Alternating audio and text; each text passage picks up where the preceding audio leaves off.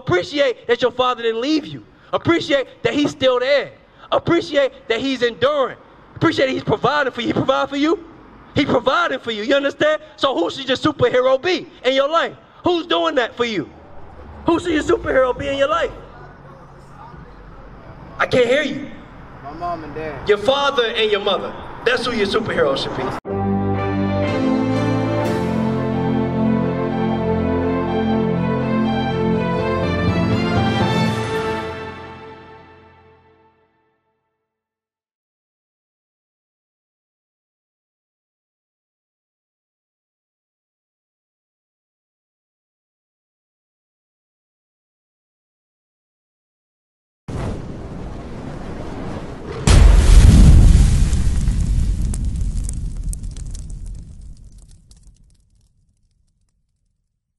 We come out here to teach our people just like you, all right? Just like you that live out here. You live out here? We, we need to give you hope, man, because you ain't got no hope. Who your superhero? You see what I'm saying? You need to have a superhero. You got a father? He live out here? Say it again? That's how I was just about to head home now. You just about to head home, all right? Why your father not your superhero?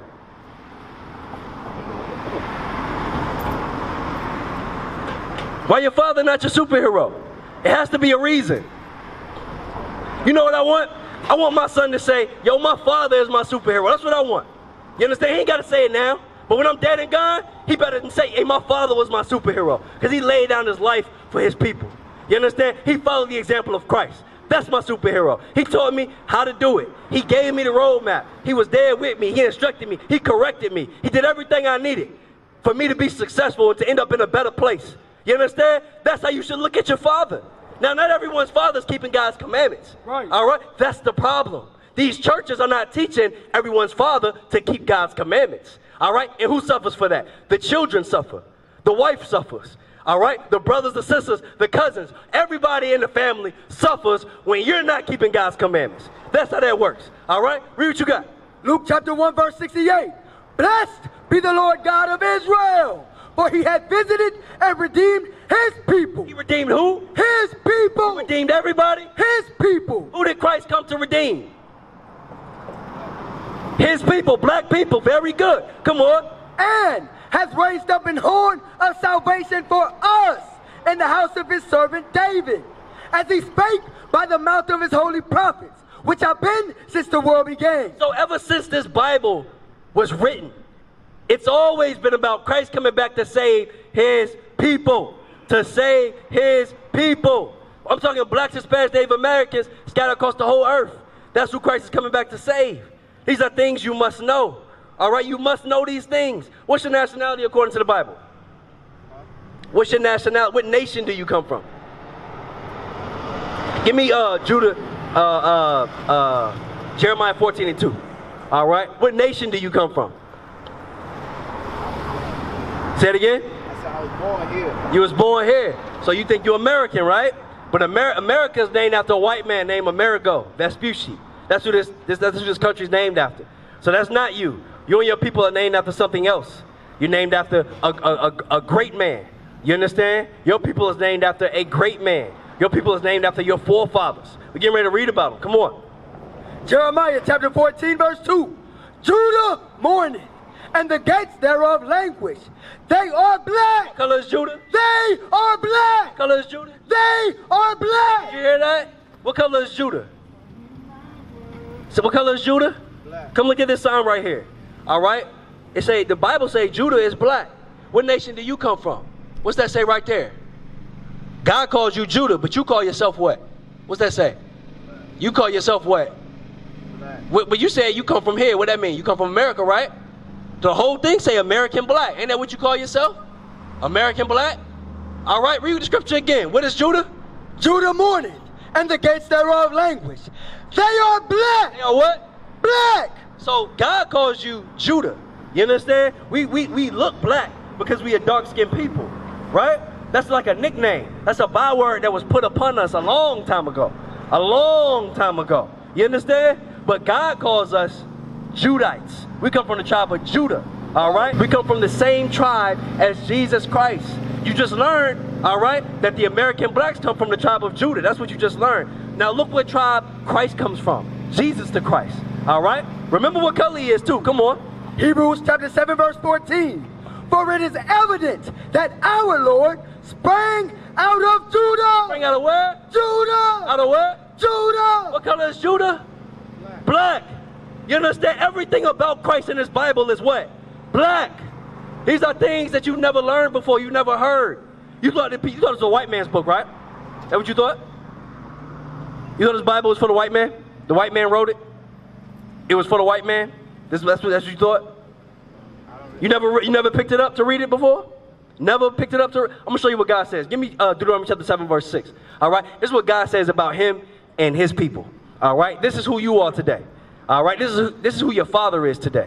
All right, this is who His father is today, and His father, and His father, and His father. As far back as you can go, this is your bloodline. You understand? This is the bloodline that you come from. But we live in this ghetto for a reason. Read what you got. Deuteronomy chapter 7, verse 6. For thou art an holy people God said you're a holy people. Come on. unto the Lord thy God. The Lord thy God hath chosen thee to be a special people You're a special people. Come on. Unto himself How special? above all people. God said that you was below all people? Is that what he said? What did he say? Above all. Above all. Does that mean you equal to anybody?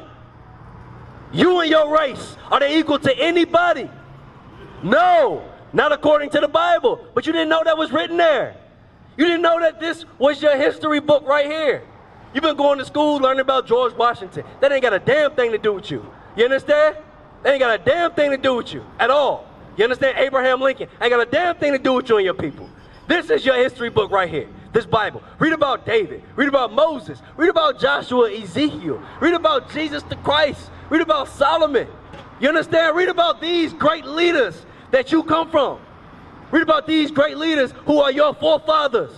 You understand? Read about those. Get your hope from there. You understand? That's what you need to do. Come on.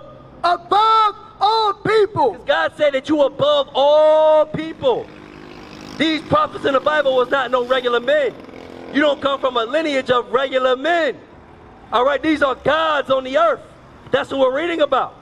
All right, and what you see out here is gods that have fallen away from their God. That's what you see. Right. Gods who have rejected their God. So God said, All right, bet, you're gonna live in the ghetto. You're gonna be on the bottom. All right? I'm gonna punish you. You're gonna be, you're gonna fill the prison houses. I'm gonna put you in timeout. You know what timeout looks like for God? You're gonna fill the prison houses. 70% of the prison is who? Black people, Hispanic people. You understand? Your people. Why? Because we rejected our God. The same way, if you reject your father, what is he gonna do to you? Say it again. If you don't listen to him, he's not gonna do nothing to you. Ain't nothing he can say to me. Say it again. I said not now. Ain't nothing he can say to me. Hey, now it's nothing he can say to you, because you might be, you might feel like you got some, you know, you push your chest out a little bit. All right, you've been doing some push-ups or something, right? So you feel like you, you can, you can, you might be able to handle him, right? That's that's might how you feel. That's the only way you would say something like that. You understand? Because when you was a little boy, you wouldn't dare say no shit like that, would, would you? Probably not. Exactly. So what happened? You start doing some push-ups. You start smelling yourself. Little girl start telling you a little something, right? Got your head in the air. Now your your father will still sit your ass right down. You understand?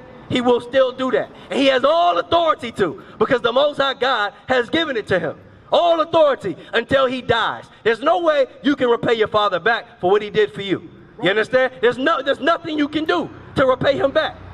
I don't care about what he did after that. Don't matter. I'm talking about him bringing you into this world. There's nothing you can do to say thank you enough for that.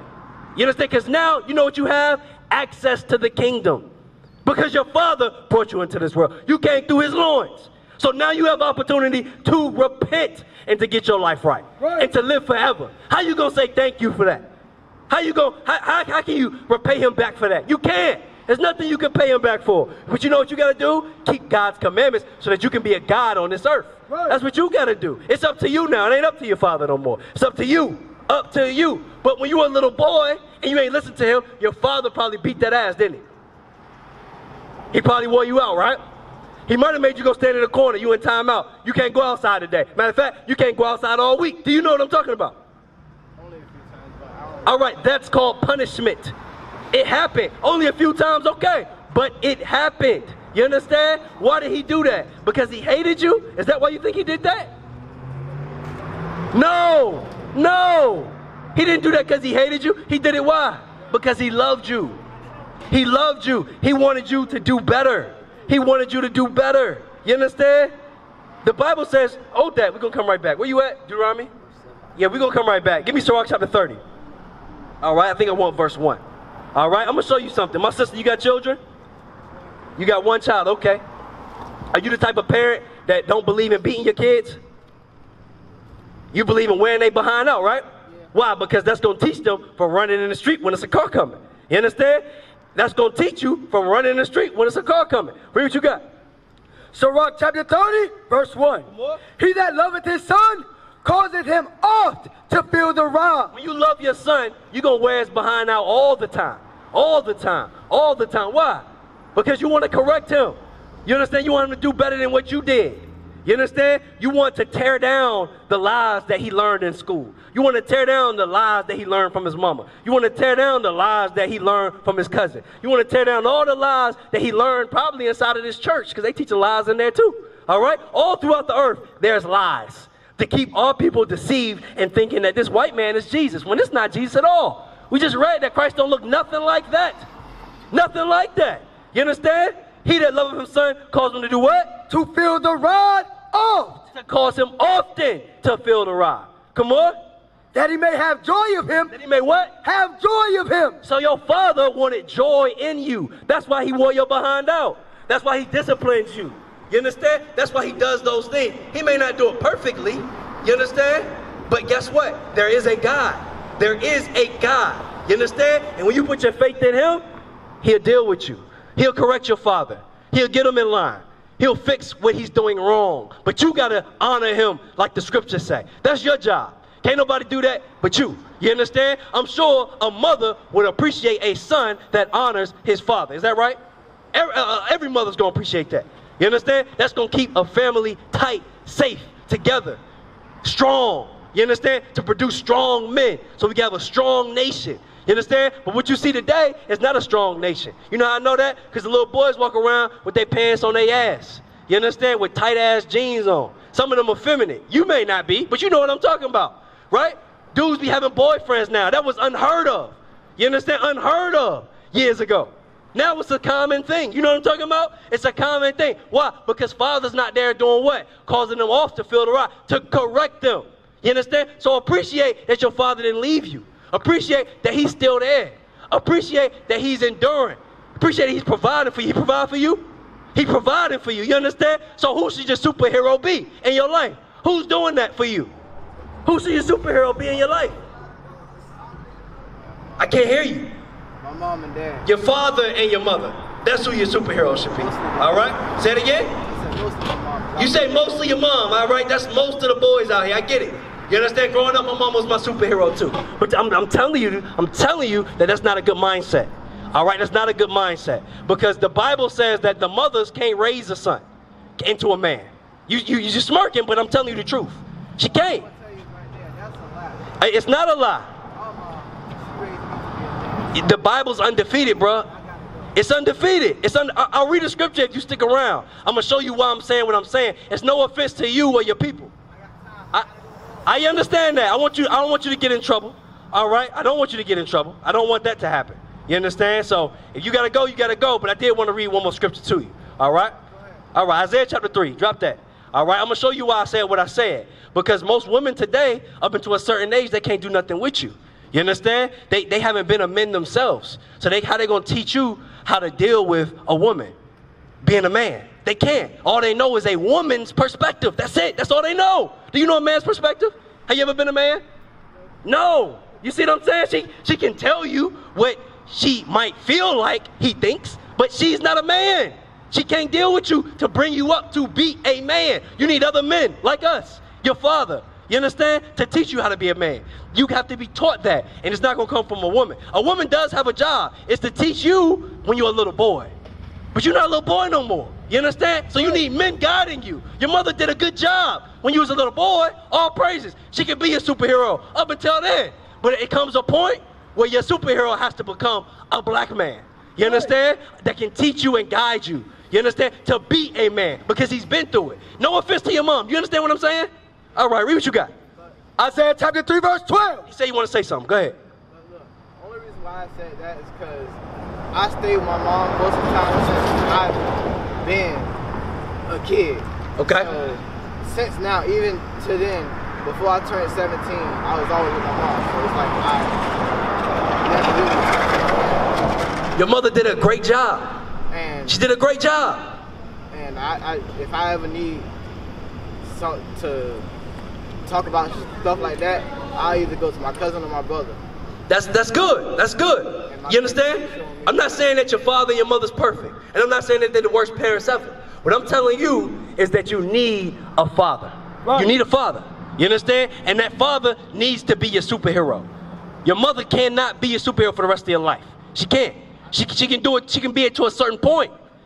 All right, but if, unless you want to stay a little boy for the rest of your life, you have to find a man that can teach you how to be a man. Right. You have to. Unless otherwise, you will be a grown man thinking like a little boy. You understand? The Bible's going to tell you. Read what you got. Isaiah chapter 3, verse 12. As for my people, children are their oppressors. in the neighborhoods that you live in, right? In this neighborhood, we'll just use this one as an example. All right? Who's committing the most crime? Say it again.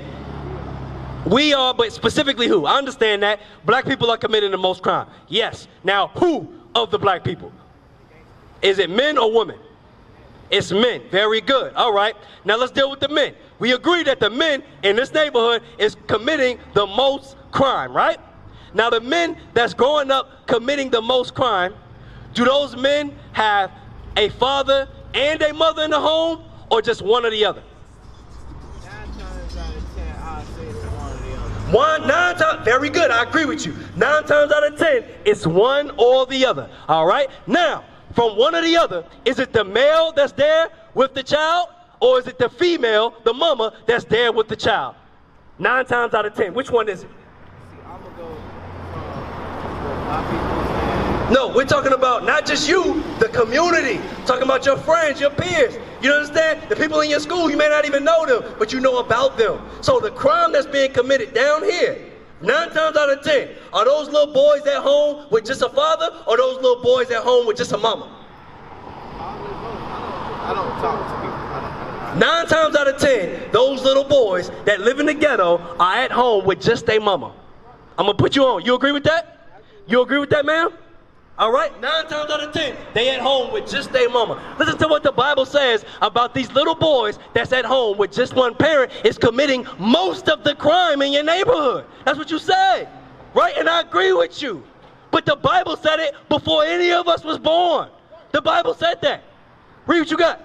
As for my people, children are their oppressors. The Bible said that children would be the oppressors in our community. Who's oppressing the black man today? Children. Who, who walking around with, with, uh, with uh, uh, drums on their guns? Who walking around with switches on their guns nowadays? You know what I'm talking about? Who is, is, is grown men doing that? Or is little boys making music called drill music about murdering their friends? Is it little children doing that or grown men making drill music? Who making the drill music? You say both, but mostly who is that affecting? depends on, I would say, it depends It's the children. It's the children. It's the children. You think it's a coincidence that these little boys is walking around here committing murder? No, it's been they've been bred to do that. It's a problem in our community. And it starts with what we put in our mind. It starts with that. It starts with what we open ourselves up to, what we entertain. A father's gonna say, nah, you're not hanging out with them. You're gonna stay home, get mad. You understand? That's what a father's gonna do. A mama can't do that. She gonna say, oh, well, I just want them to have fun. I just want them to be happy. Right. You go ahead and go. You understand? Just be home by this time. Just tell me, don't lie to me. As long as you don't lie to me, tell me all the evil you've been doing. Just don't lie to me. You understand? And we gonna have a good relationship. And you can do all the evil you wanna do. That's what a mama's gonna do in my line. She gonna nurture you. A father's gonna tell you the truth. A father's gonna rear you up to be a man. These little boys out here committing these murders, they don't have fathers rearing them up to be a man. They don't have that. And as a result, you know what you have?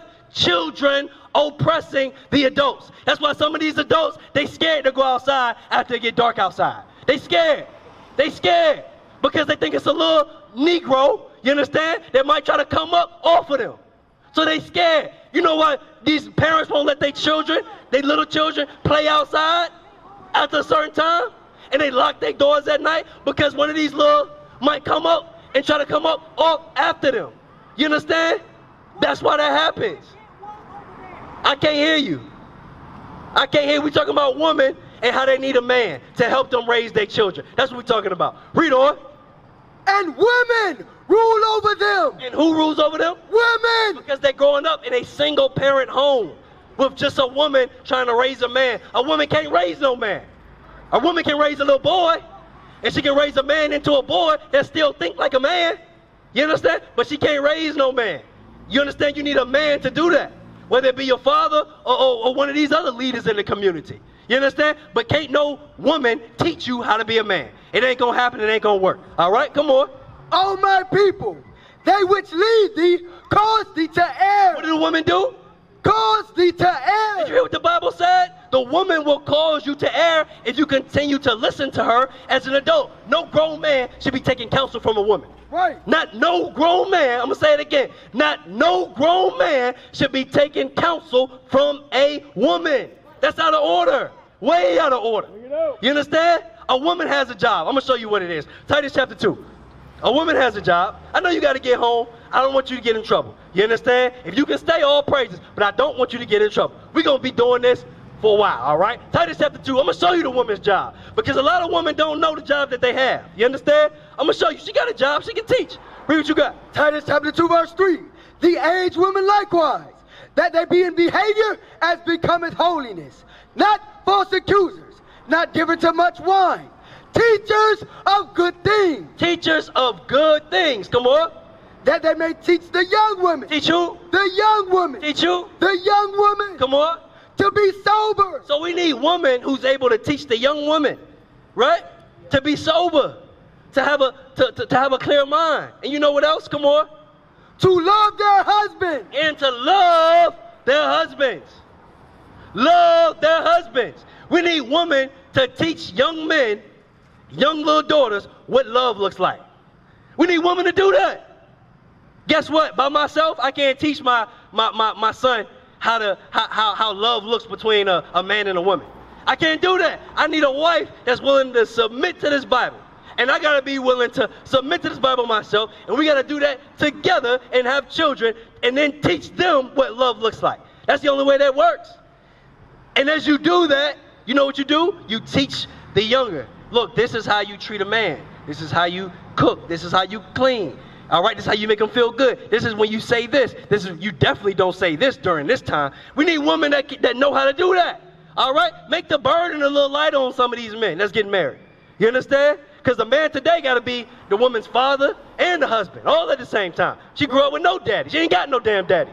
You understand? So now you got to come in and be daddy before you can be a husband. You understand? That's way out of order. It's not supposed to work like that. All right? So we are changing the minds of our people because these churches are not doing that. They're not teaching that. They're not teaching the Bible according to how it's supposed to be taught. Precept upon precept. They don't do that inside these churches. What is a nation?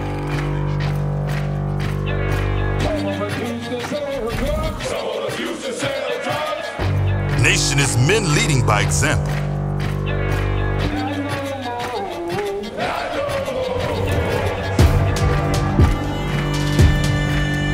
Nation is family.